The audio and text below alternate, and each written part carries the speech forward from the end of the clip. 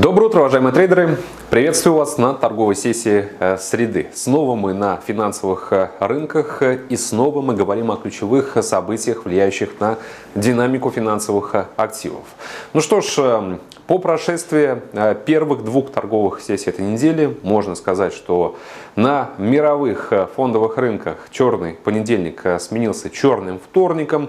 Что будет дальше, я уверен, то, что декабрь, судя по текущей риторике господина Трампа, в целом будет оставаться в красных тонах для фондовиков. Поэтому если фондовый рынок, какие-то активы его европейского, фондового рынка, американского. Это те площадки, на которых вы торгуете, и инструменты, которых вас интересуют. Э, преимущественно лучше строить идеи, конечно же, от э, продаж. Мы очень долго настраивались на то, что американский фондовый рынок, будучи весьма перекупленным, должен э, снизиться.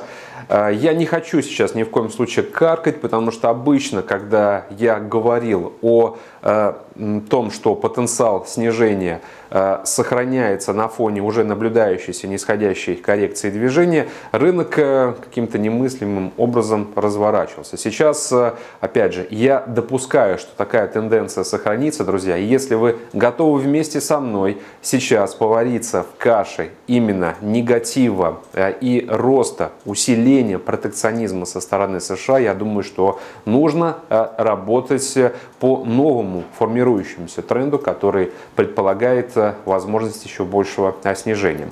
Ну, об американском фондовом рынке мы поговорим, собственно, так же, как и о действиях эм, президента Трампа касательно новых пошлин, потому что буквально по э, всем рынкам это центральная тема. У нас есть э, привычный сценарий по инструментам, давайте его э, опускать не будем. Нефтянка 61.26, мы в принципе на тех же самых уровнях, что и понедельник и вторник. Я думаю, что рынок готовится сейчас к заседанию ОПЕК, которое стартует уже завтра. Допускаю, что какие-то новости могут прийти уже непосредственно в четверг. Но ну, лучше э, настраиваться на то, что фактические решения этого заседания будут озвучены только в пятницу.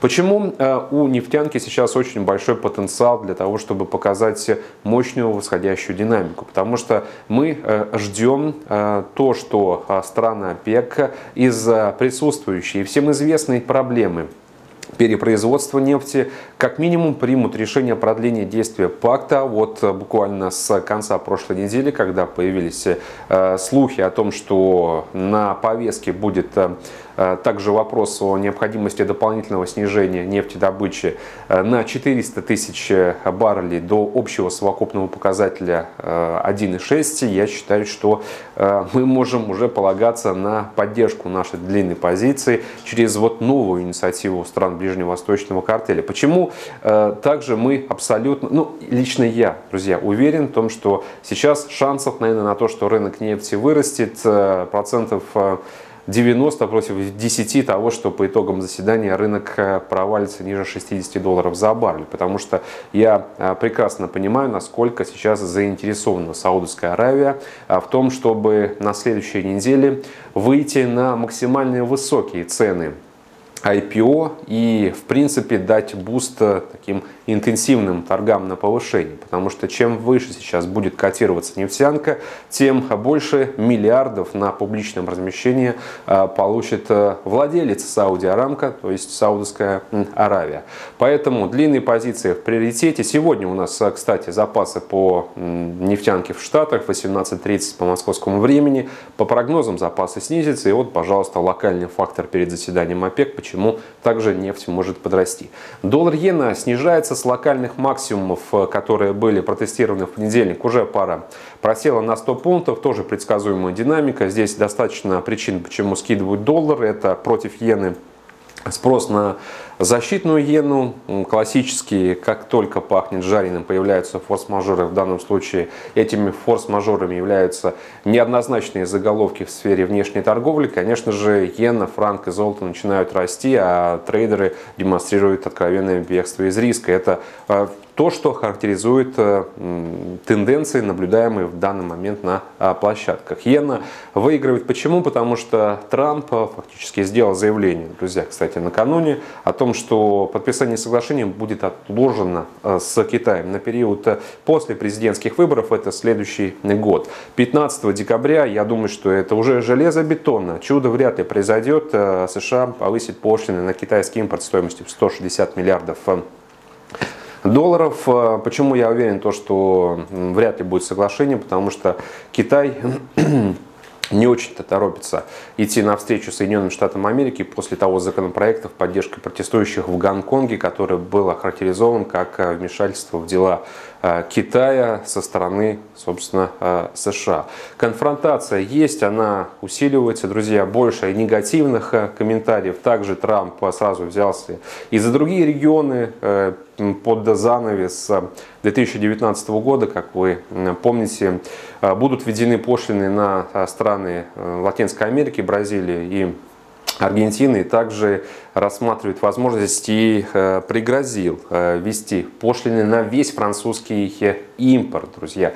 Э, это, опять же, к тому, что следующей жертвой а США, как я не раз говорил, будет Европейский Союз. Поэтому здесь мы, торгуя парой доллар-иена, сейчас выигрываем от роста неопределенности мировой внешней торговли. И по доллару, конечно же, у нас Э, слабый отчет от АСМ производственного сектора. Четвертый месяц подряд индекс ниже 50. Проблема производственного сектора – это анонс э, слабых ВВП э, в будущем квартале и готовность, возможно, Федрезерва прислушиваться к позиции Трампа в плане дополнительных мер экономического стимулирования. Нужны вводные дополнительные. Сегодня они будут. HDP в 16.15 по московскому времени, АСМ в сфере услуг в 18.00, а в пятницу Non-Farm Payroll. Чем больше будет плохих данных, тем больше шансов нам еще больше продавить доллар, друзья, и соответственно, еще больше снизится по паре доллар-иена. Золото из-за роста мировой торговой напряженности растет. Мы Э, в начале этой недели на вебинаре ставили цель, э, среднесрочно она уже достигнута, котировки 1478 за тройскую унцию. Друзья, это только начало, дальше будет полторы тысячи долларов и в идеале бы добраться до конца этого года до уровня 1525-1550. Американский фондовый рынок, как я уже отметил, снижается. Лоу вчерашнего дня 3069 пунктов. Есть очень высокие шансы и вероятность на общем негативе добраться до поддержки 3000 пунктов. Доллар канадец сегодня один из фундаментальных героев, канадец, поскольку 18.00 ставка Банка Канады будет нашему вниманию представлена. Через час 15 пройдет пресс-конференция Стивена Полза, который возглавляет канадский регулятор. Э, держим, друзья, длинные позиции. Я думаю, что очевидно сейчас эм, потенциал того, что пара все-таки продемонстрирует рост, уйдет выше отметки 1.33. Э, цель, э, супер цель, идеальная цель до конца этой недели – это тест сопротивления 1.34. Любой намек на готовность канадского регулятора также действовать как бы на одной волне с прочими регуляторами, регуляторами по стимулированию эм, через снижение процентной ставки, это, конечно же, хорошая почва для э, движения вверх. Австралиец сегодня активно снижается. Наконец-таки логика здесь восторжествовала, потому что я был крайне удивлен ростом австралийца накануне. Несколько часов назад вышли слабые данные по темпам экономического роста. Я надеюсь, то, что Резервный банк Австралии посмотрит на них и еще раз попробует э, убедить тех, кто еще сомневается, что ставки будут снижаться и дальше. Котировки 0,6821, ждем пару ниже 0,67.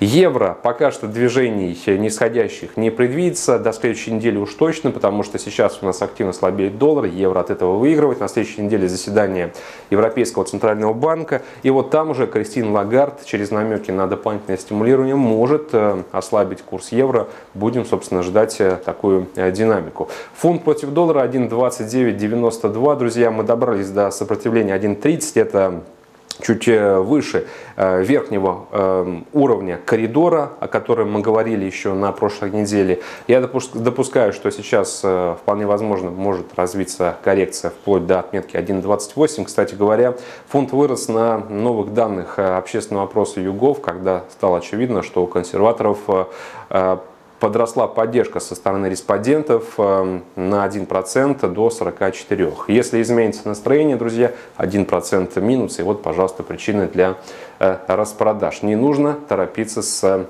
покупками, если вы этого не делали э, ранее. Очень весьма вероятно коррекция. На этом, собственно, все. Большое спасибо за внимание. Всего доброго. До свидания.